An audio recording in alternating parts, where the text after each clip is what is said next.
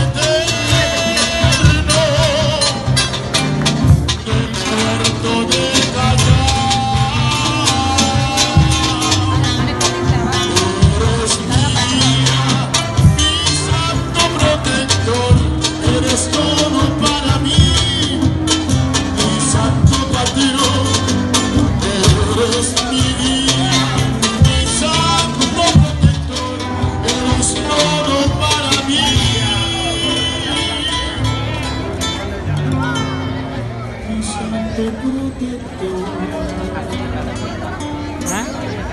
Con Las Palmas. Para nuestro rey de